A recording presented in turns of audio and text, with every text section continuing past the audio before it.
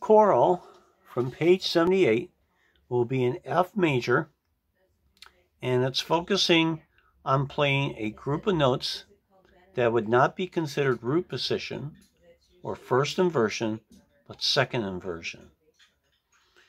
So that will be the spacing of the left hand going 5, 2, 1 as we move up the keys, and F major, B flat will be utilized in this case, it'll be the thumb reaching for it, so make sure that you either move your arm or your wrist to assist the thumb to reach the black key.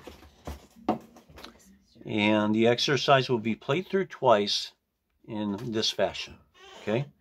And by the way, you're welcome to use the right foot pedal for each group. Moving up, B flats. B flats with both hands. Then we move back.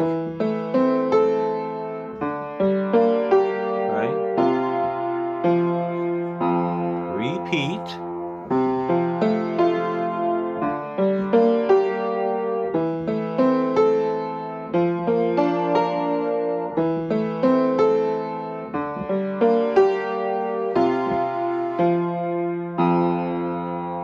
that's a demonstration of chorale.